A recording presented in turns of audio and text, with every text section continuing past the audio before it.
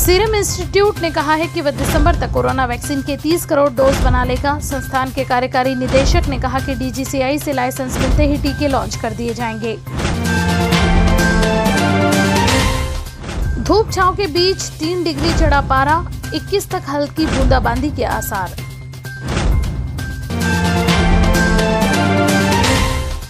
बुल्ठाना pattern से राज्य को मिलेगी जल आपदा से राहत, गडकरी ने मुख्यमंत्री को लिखा पत्र। दक्षिण पूर्व मध्य रेलवे ने विशेष ट्रेनों में यात्रा करने वालों के लिए कोरोना संबंधित कुछ दिशा निर्देश किए जारी। यात्रियों से सभी नियमों का पालन करने का किया आह्वान। ज़िले में शनिवार को कुल 7,402 नमूनों की की गई जाँच जिसमें 540 मिले पॉजिटिव तो वहीं 13 की हुई मौत। भूमाफियों के खिलाफ 300 शिकायतें मिली 50 की होगी सुनवाई। शहर के भू भूमाफियों के खिलाफ गृह मंत्री अनिल देशमुख आक्रामक भूमिका में। गांजा तस्कर के मकान पर पड़ा छापा, आरोपी गिरफ़्तार, पाँच किलो से अधिक कमाल हुआ जब्त। कलमेश्वर थाने में प्रकरण है दर्ज।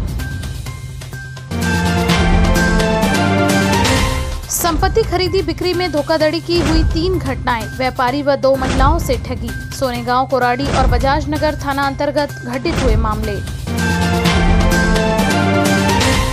खाली पटरियों पर बड़ी मालगाड़ियों की रफ्तार। रेलवे ने ज़्यादा माल ढुआई कर कमाए करोड़ों रुपए के। वहीं 24 घंटे के भीतर चोरों ने उड़ाया सात लाख बासठ हज़ार का माल। शहर में चार स्थानों पर हुई चोरी की वारदात। नकदी सहित कीमती माल पर किया हाथ साफ़।